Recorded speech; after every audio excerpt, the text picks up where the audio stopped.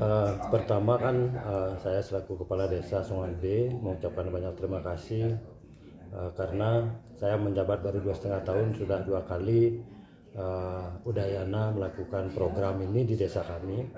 Dan eh, sudah pasti kak saya di desa akan melibatkan semua unsur masyarakat terutama dalam eh, penanaman kelor ini karena eh, selama ini yang diketahui oleh masyarakat kami di Songan kelor itu cuma bisa dipakai untuk sayur.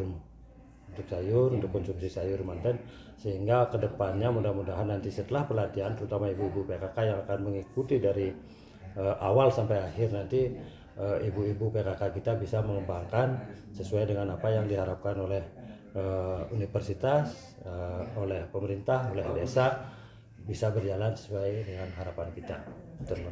Sebagai perbandingan mantan Bapak untuk sebelumnya kan sudah ada pengelolaan bawang gitu ya. Itu hasilnya seperti apa dan kali ini ke depan rencana ke depan akan seperti apa juga? Nah, eh,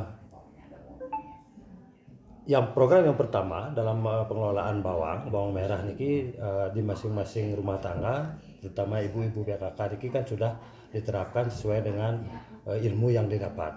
Nah, untuk eh, program yang kedua ini eh, seperti yang sudah saya sampaikan bahwa di Songan ini memang tanaman kelor itu sudah agak berkurang dan mulai eh, program ini kami akan eh, ajak masyarakat kami untuk menanam di pekarangan rumahnya minimal satu eh, batang bibit kelor untuk eh, bisa kegiatan ini terlaksana dengan baik dan walaupun misalnya eh, masyarakat belum bisa membuat teh kelor atau eh, boreh kelor nanti bisa kembali untuk dikonsumsi karena kelor ini merupakan eh, tanaman herbal yang sangat berguna di masyarakat.